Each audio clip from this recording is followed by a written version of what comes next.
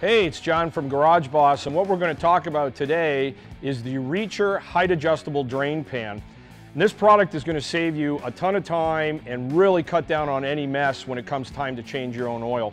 And what it comes with is a contained oil pan, a catch-all, and two extensions, and that's going to allow you to put that drain catch right underneath your vehicle regardless of what type of car you're working on.